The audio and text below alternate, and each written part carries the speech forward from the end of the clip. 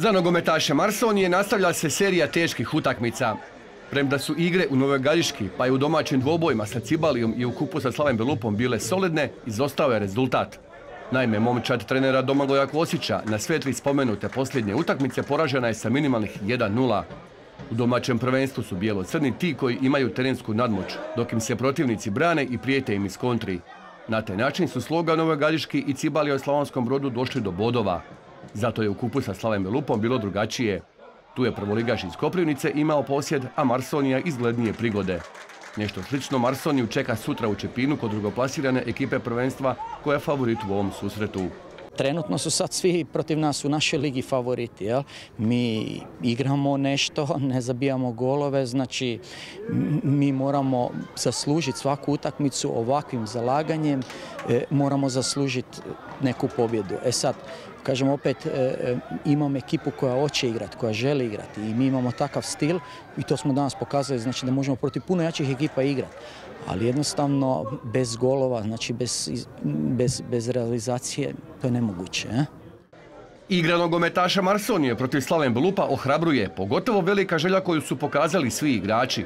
Da su tako bijelo-crni igrali u prvenstvu, ne bi se nalazili na devetom mjestu sa 14 bodova, što je samo četiri više od posljednje plasiranog. To je i očekivano jer je prvoligaš iz Koprivnice svima njima bio veliki motiv kao i ambijent na stadionu na kojem je bilo više od tisuću gledatelja. To nam je stvarno bio dodatan motiv za igrat, puno je lakše pred ovako ispunjenim tribinama svakom igraču dati još tih 10-20% nego inače.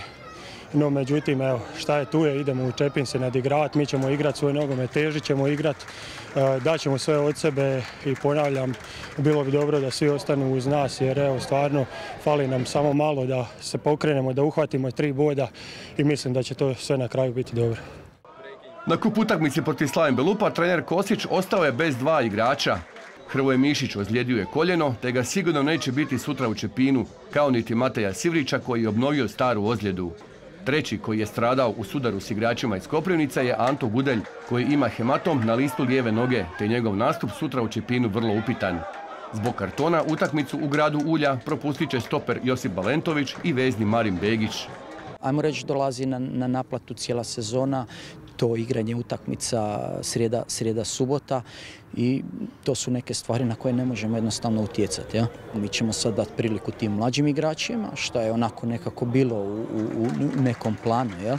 Sad tu nedostaje bodova da bi mi mogli te mlade malo istrpiti, ali ja vjerujem, evo, Vidjeli ste da polako dajem šansu svima njima, jedan, dvojica da dolaze i ja mislim da se Marsonija ne treba brinuti za budućnost, da tih mladih dečki ima, samo im treba dati priliku i treba odrediti jasan cilj. Ma da, sad smo ušli stvarno evo, pred kraj prvenstva u male probleme što se tiče kartona i što se tiče ozljeda. Dolazi nam teško gostovanje u Čepinu. Svi znamo da nam fali jako malo, da nam fali jedan klik da krenemo i da pokrenemo sve to u pravom smjeru, onom kojem svi želimo i priželjkivamo, ali nikako da se desi, evo opet se moramo skupiti za taj čepin, probati odigrati, evo, evo ovako mislim da ste vidjeli da iz utakmice u utakmicu se dižemo što se tiče igre, pokušavamo, dajemo sve od sebe i nadam se da će nam doći u tom trenutku evo, u Čepinu već možda ovaj, da okrenemo sve na naš mlin. U sutrašnjoj utakmici u Čepinu koja počinje u 14 sati domaćin je favorit, budući se nalazi na drugom mjestu, dok su na svom terenu do sada poraženi samo s 2-1 od Orjolika iz Orjovca.